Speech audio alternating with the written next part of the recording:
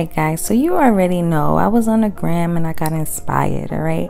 So, you know, I know y'all just maybe just finished watching my my teddy video of the nails that I currently have on, but um yeah, it hurts me to do this. Y'all see how I'm pulling these bears off? Vicious. And for a reason, it was a lot. It was a lot. They were scratching me. Not bad, like I have like scratch marks, like I got into it, but they were just hard to deal with. I've never done 3D um, nail art before, and I probably would do it again, but I would probably limit it to one nail because I was just having a hard time avoiding the nails like getting in my hair and stuff. And I didn't apply the enough glue. It was my first time using a specific type of glue and two of my teddies popped off. So you know that was devastating. But I'm just gonna take off the polish and the teddy bears and everything and I'm going to redo the set. I'm going to keep the base of the nail on. I'm actually going to reshape the nail off camera all right yeah i'm gonna reshape them off camera. Um that's because the set i kind of liked how it was shaped in the original video. Right now i'm doing more of a coffin shape. I wanted to make sure i had enough space to recreate the look so i did widen out the nail and make them more of a tampered um, square. So in order to do that, if you guys watched the video of me doing these nails, you saw that I used a nail form. Basically, I just realigned the nail form up with my um, current nail and I just added some acrylic to the sides of the nail. And I also do go in and have to add in some more um, product near my cuticle area because in the process of filing off this pink, I do end up lowering my apex and my cuticle area is all botched. So I had to fix that up too.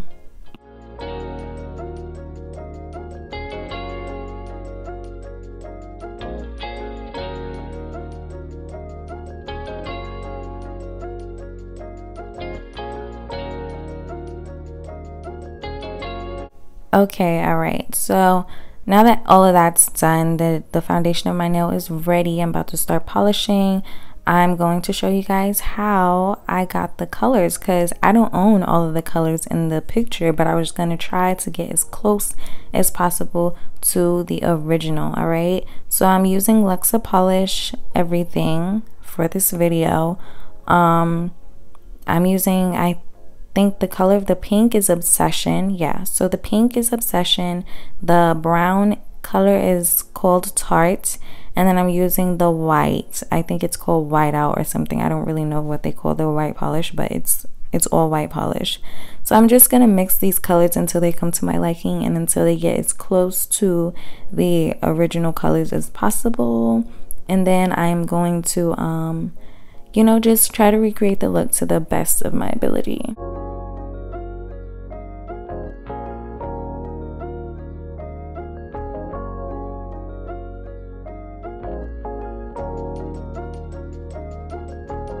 Y'all i'm not even gonna front. Making these colors was a little complicated because um i don't know like sometimes you don't know what you're gonna get when you're mixing colors.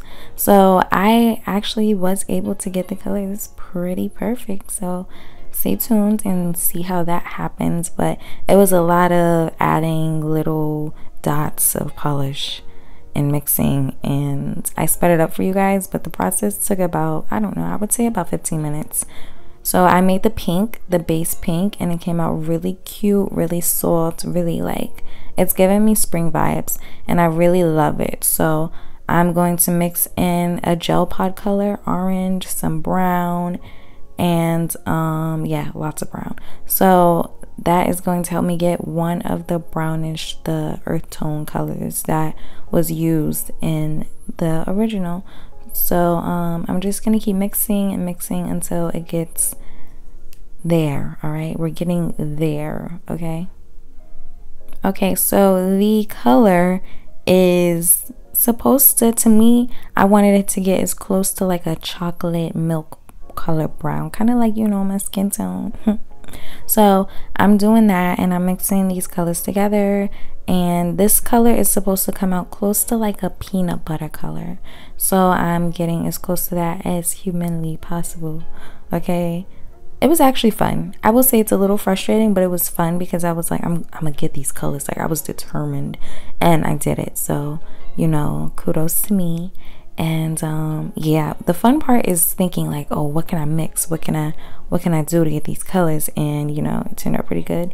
Y'all see the little picture in the corner? That's what I'd be doing. My iPad be sitting there and I'd just be looking back and forth at it. That poor screen.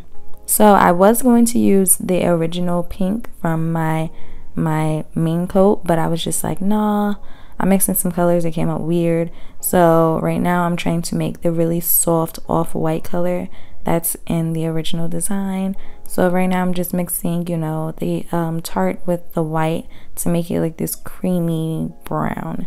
So, you know, those are the colors that I'm gonna do, you know, gonna do. what those are colors i'm gonna do that's what came out these are perfect to me so i'm now going to reenact the little um i don't really know what you would say call it to me it looked like um you know in geography when they like showing certain types of maps and it kind of looks like I don't know what type of map it's called, but it looked like a geography map to me.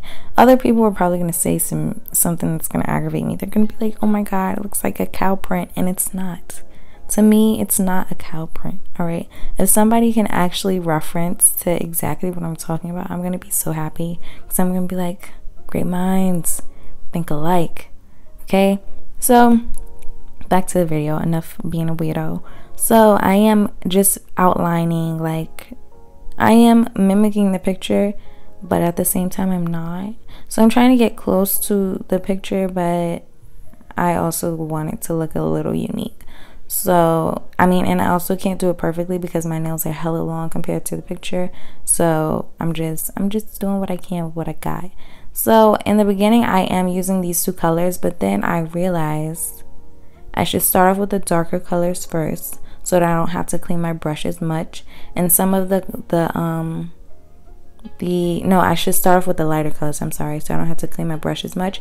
And some of the darker colors overlap the lighter colors. So it only made sense to do two, the two lighter colors first, cure my nail for, um, uh, what, what, how long did I do that? Uh, 120 seconds and my UV lamp and then to come back and do the two darker colors so that I can overlap the colors on my nail. You know, you see you see what i'm saying? Strategic. Gotta you gotta think, alright? Or designs will come out looking confused because your ass was confused. So I'm just working with it.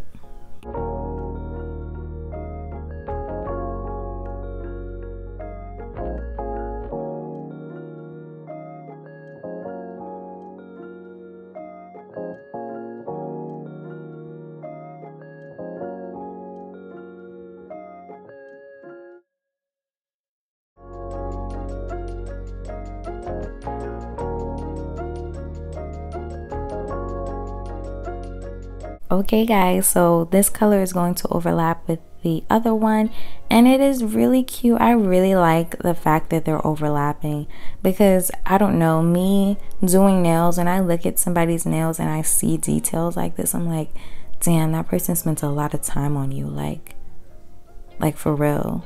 But I also I just really love nail art. I think it's really cool really fun and unique like because it's not it's not a stencil it's not it it can't be replicated. It can't. It can't. Every time it's just unique. It's never the same.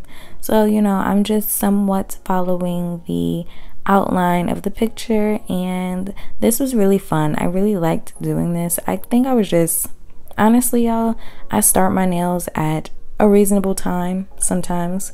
And then sometimes I start my nails at 11 o'clock at night and I just stay up all night just really doing my nails. And I don't know I think it's just really fun to me. I'm a really artistic person. It just it's like I have my AirPods in I'm vibing like I'm just chilling. So um yeah it's like therapeutic I guess. It's like a coloring book except more intense. So um yeah I'm just gonna keep doing all of that. And then I'm gonna come back to you guys once I've done like finished with all of the um the little squiggly I don't know, weird shapes.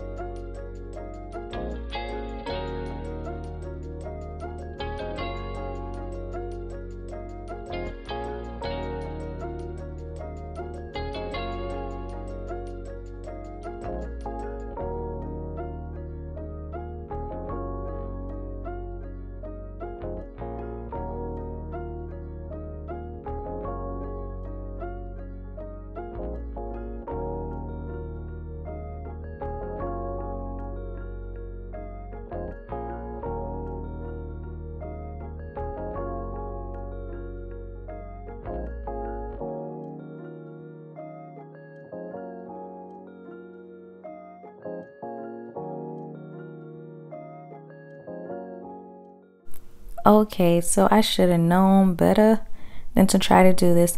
I was trying to make the outside look a little more like a watercolor type thing. Like not that, I just slapped some, used the brush. I wanted it to look like it wasn't what it was. So I came back with this brush and I was like trying to feather around the original outline. Big mistake. Shouldn't have did that. And my well, why I know better now is because once I put the matte top coat on, it kind of naturally blurs those lines for you. So, me thinking I was like creating this really cool effect that kind of looked like the picture, and in reality, I was just doing extra work and on my left hand, it made my pinky look kind of weird, me trying to do this. It's not a big deal. The design still came out fire, but I kind of wish I didn't do this step. But you know, you live and you learn. It was an experiment.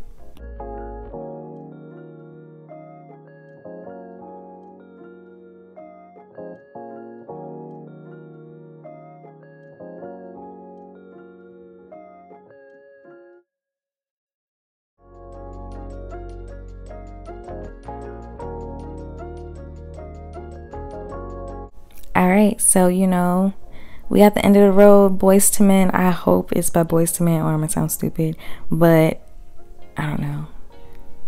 We're done. All right, basically.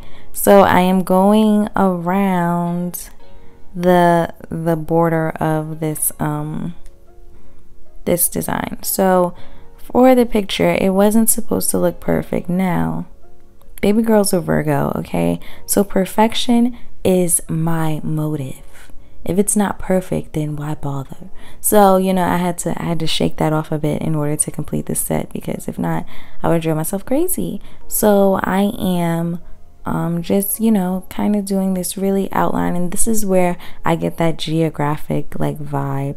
I don't know if it's like called topographic topo topography. I don't know what the hell it's called, but I learned about it in college for a little bit. My teacher said something about it, and oddly enough, years later, I still remember. So, um, yeah, I'm just gonna do that. And I really like this touch to it. Like, I feel like that's what makes it not look like your average cow print design. It looks really cool with this added on and it makes it look really dope once I do that matte on top. Oh my god, it just looks gorgeous. So um, I'm just gonna go around and do that to all the nails. But I'm gonna let you guys know it wasn't just peaches and cream, okay? My innocent mind was thinking, I'm gonna do this, I'm gonna put the matte on, and I'm gonna go to sleep because I'm tired and I stayed up all night doing these nails that I love so much, but damn. So that didn't work out.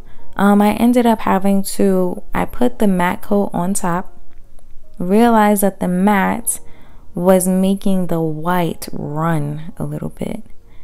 And yeah, that was disappointing. So I had to go back, outline my white outline again, and then put matte on again. In hindsight, how could I avoid this from happening? Was well, I could have outlined the clear, well, the um, outlined the white with some top coat clear polish to avoid it from running at all and that like to keep it from running so um yeah in hindsight also i don't really use i've had the velveteen like that's the name of it the velveteen matte from Luxa polish for almost a year. I've only used it about maybe five times. Um my job like i was working with clothes. I worked at zara. Um my job like the clothing material would get on the nail. Even though the nail does not um well it's not supposed to um fade and get dirty and stuff like that it still does but that's just because of my line of work an average person probably would not experience as much like buildup of dirt that I was experiencing I've had matte nails before and I will say that this um, top coat is better than the other brand that I used before. Well, I got done at a nail salon before because it, it really like stays clean longer. So um yeah, now that I'm not working there anymore, I can definitely like um just really well out with matte. So this is why this is my second matte design with um with my nails. Um the pink one that I had on in the beginning of this video was the first one. So uh yeah, I freaking love it. I love being able to explore with my stuff now. But um, I will say that I'm also learning how to work with the product because it's different than the other items that I have.